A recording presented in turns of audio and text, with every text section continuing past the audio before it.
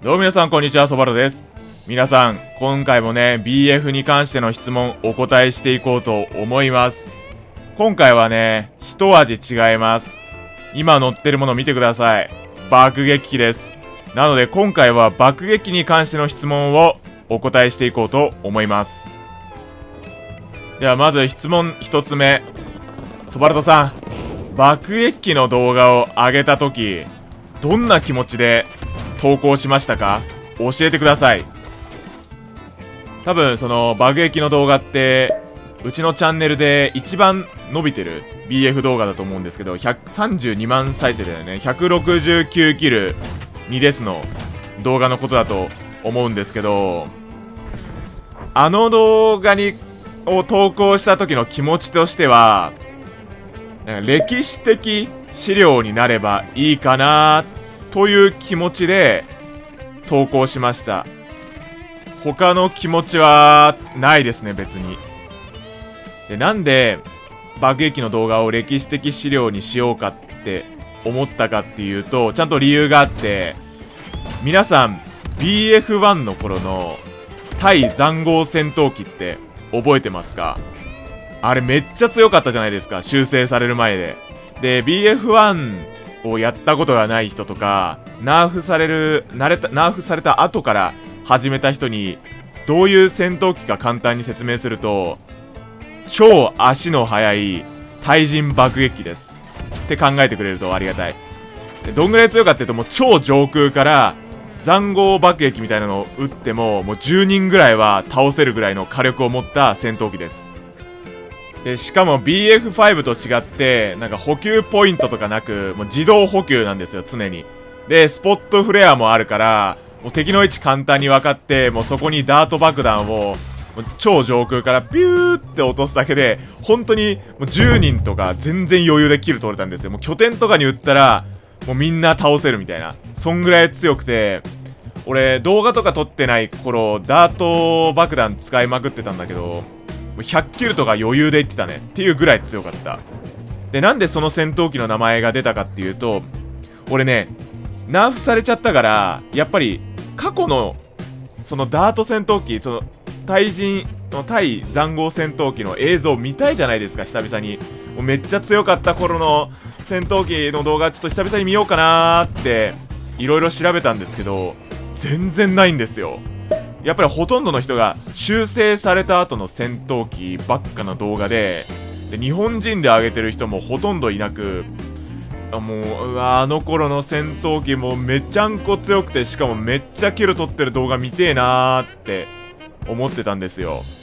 だからそれがちょっと悔しくてじゃあそうやったら BF5 でもこの今もうどうせこれ修正されるだろうっていう爆撃機の動画は爆撃機を使って動画撮ってでまあしょうもないキルばっかだったらダメだからもうすげえたくさんキル取って歴史的資料も後々見返せるような動画にしてやろうって思って爆撃の動画投稿しました。それがけ、まあ、きっかけつか理由ですね。だけど思ったようにはいかないですね。何事も。人生と同じです。やっぱり荒れました。動画荒れました。うん。でも後悔はしてない。あの動画を投稿したことに関して。反省はあるよ。もちろん。後悔はしてないけど反省点はやっぱりあるね。ちょっと口が悪かったね。いっぱいキル取れてすげえテンション上がっちゃってまあ良くない言葉を連呼しすぎちゃったかな。そこが良くないポイントっすね。だからもうその動画以降は本当に言葉遣いは注意してます。やっぱり不快に思う人がいるからで俺も不快に思わせたいと思って動画を上げてるわけではないんであの動画で学ぶ学んだことはたくさんありますね。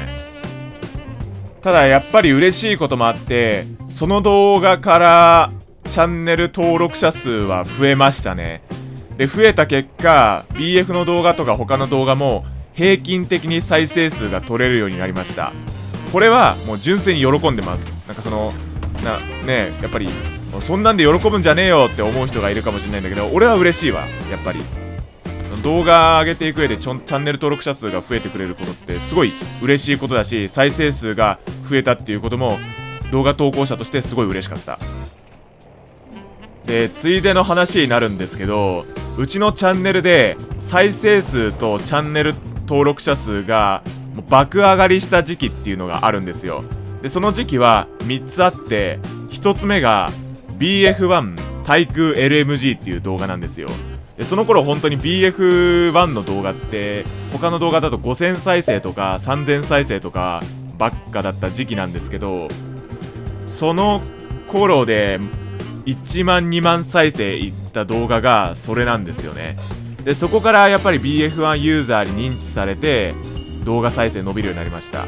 で次に2つ目がくんさんとの出会い。でくんさんと出会って一緒に撮影したり、まあ、動画に出演することによってやっぱりそこから登録者数も増えましたね。そして3つ目が BF5 の爆撃の動画です。これもやっぱり伸びた。爆上り。でまあ他の動画もチャンネル登録者数もちろん増えてるんですけど1000人単位で増えたのはこの3つの出来事だと思ってます。で話は戻るんですけどで結論ね。その先ほどの質問。スバルトさんが爆撃の動画を上げた時どんな気持ちで上げたんですかっていう質問に対しては歴史的資料にしたかったというアンサーで以上になります。ああとねこんな質問もあったわ。まあ多分この質問の意図としては爆撃に関連していることだと思うんで、まあ、せっかくなんでお答えしていこうと思います。質問。ソバルトさんいろんな人に BF5 を壊した男と言われてますがどんな気持ちですか？お答えください。はい、えー、これに関してなんですけどまずもうね俺知ってる。これね言われてること。もう俺が裏でこそこそとか、まあ、普通にリップとかでも言われるし動画のコメントとかでもよく言われてるんでこの BF を壊した男に関しては認知してます。俺は。認知してますまず。で言われてどんな気持ちかっていうと嬉しくはないよね。嬉しくはないわ。だってさ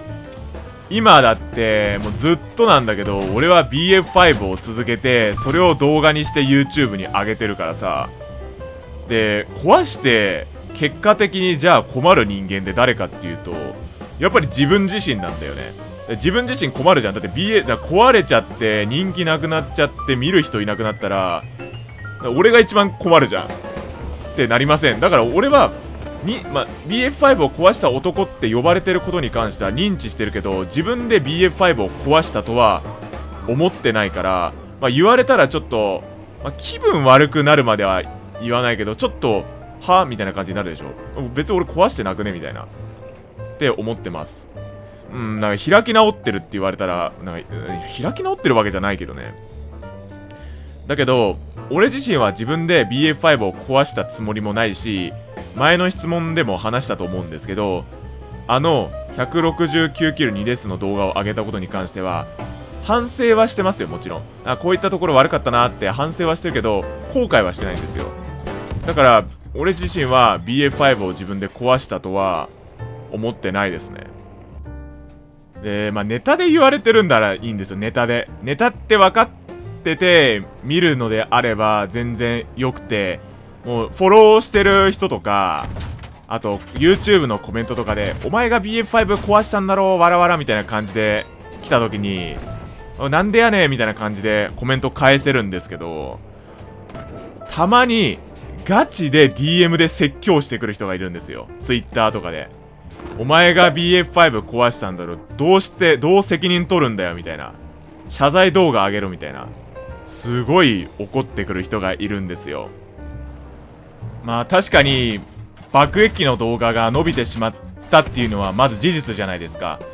で BF5 で購入を考えてる人たちが多分検索すると思うんですよ。BF5 ってどういうゲームなんだろうって YouTube とかを使って。でそれで購入を決める人はいると思うんですよ。で結果的にうちのチャンネルの爆撃機の動画来ちゃってうわ BF5 爆撃機の動画じゃんみたいな。なんだよって。爆撃機ばっかじゃんみたいな。で、結論に至って購入をしないって人がいるかもしれないんですよ。でもさ、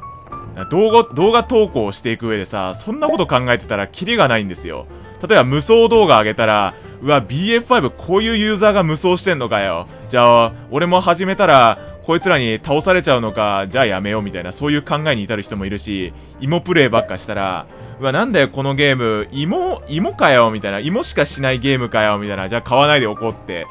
ならないっすか?なんか考えると考えれば考えるほどそういうものが出てきちゃうんですよ。でその動画がもし伸びちゃったらそれが影響して BA5 買わないでおこうみたいな。でもさそんなこと考えてたら動画上げれなくなっちゃうんすよねやっぱり。で俺って EA ゲームチェンジャーとかダイスフレンまあ EA ゲームチェンジャーじゃないんですよ。ダイスフレンドはまた別だね。EA ゲームチェンジャーじゃないからね EA のゲーム、まあ、BF5 とかをを宣伝する運営じゃないんですよ。だからまあ本当だったら BA5 を本当に売りたいのであれば EA ゲームチェンジャーがそういう動画を上げて人を増やしていこうって活動をすると思うんですけど俺 EA ゲームチェンジャーじゃないんですよだからなんかそれでお前はこういう動画しか上げるなって言われる義理もないしそんなね動画に制限ってかけられなくないっすか？まあ例えばねマナー違反なことをしたりとかね、チートを使ったりとか、それは良くない。それは、まあ、動画以前に規約違反じゃないですか。でも俺は、爆撃機の動画に関しては、ちゃんと BF に合ったシステムを利用して、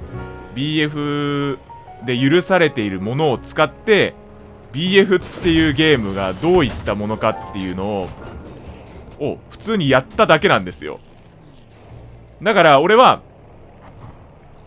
前前の質問でも答えたんですけど BF5 のあの爆撃機の動画を上げたことに関して、まあ、確かに言葉遣いが悪かったなっていう反省点はあるんですけど後悔はしてないです何回も言うけど後悔はしてないです。もしかしたらまあふざけんじゃねえよってお前のせいだって思う人もいるかもしれないですし、まあ、この意見を聞いてなんか改めて考えてくれるっていう人がいるのであればやっぱり幸いですね。何度も言うけど俺は自分自身で BF5 を壊したと思ってないし壊したつもりもないし壊す予定もないです。俺は BF5 っていうものを楽しんでこういう動画を今後も上げていくつもりです。やっぱりみんなが楽しむ動画って難しいね。だ無理だと思うわみんなが楽しむ動画って。だから今いる人もしくは今後俺のことを見てくれる人たちのために俺は動画を上げていきます。もしかしたら何か言われるかもしれないんですけど、まあ、そのためにコメントください。な俺はそれで反省します。反省して次に生かそうと思ってます。皆さんこれからもよろしくお願いします。ということで、えー、2つ目の質問、えー、ソバルトは、えー、BF5 を壊した男と呼ばれてどう思うかっていうと、まあ、確かに気分はそんなに良くないんですけど自分は BF5 を壊してないっていう思いがありますというアンサーでよろしいでしょうか。ということで BF5 お疲れ様でした、まあ、また動画上げていくんでこれからもよろしくお願いします、えー、質問まだまだ募集してます。ということでお疲れ様でした。GG バイバーイ。